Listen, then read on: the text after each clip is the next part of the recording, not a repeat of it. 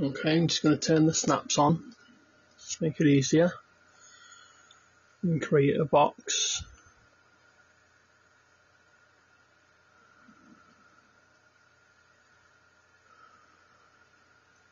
Okay.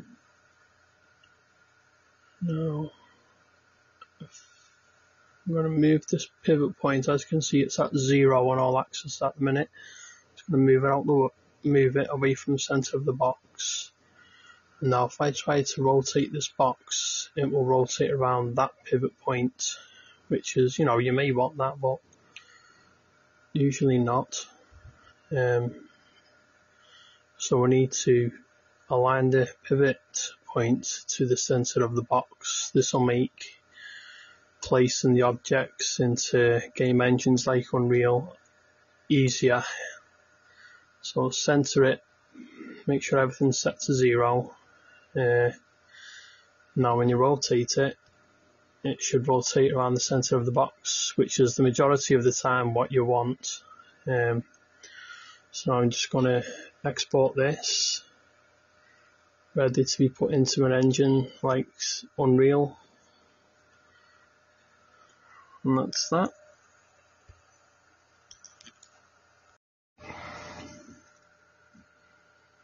Okay, there'll be times when you don't want the pivot point at the center of an object, for example a door, so having a pivot point at the center of the door, um, when it comes to rotating it, it's not going to work the way you want it to. Um, for this example here, it's at the center. Now if I was to rotate this, it's not how a door opens, so that's not what you want.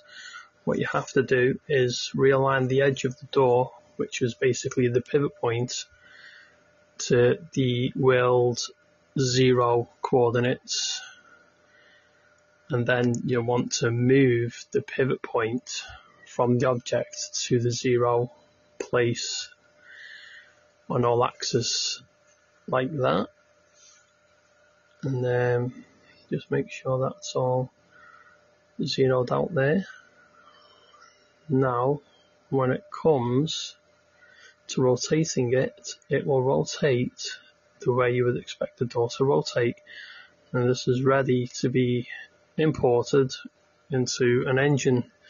So I'm going to export selected. Uh, name this door and then save that.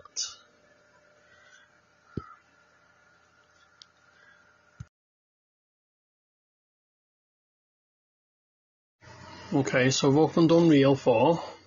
Just going to import me models in.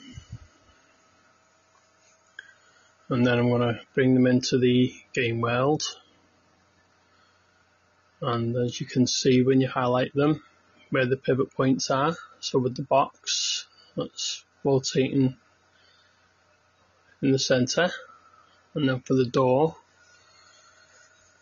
that should rotate from the side in a future tutorial I'll be going through how to make a blueprint door in the Unreal Engine 4 and you'll see why it's important for the correct placement of the pivot point.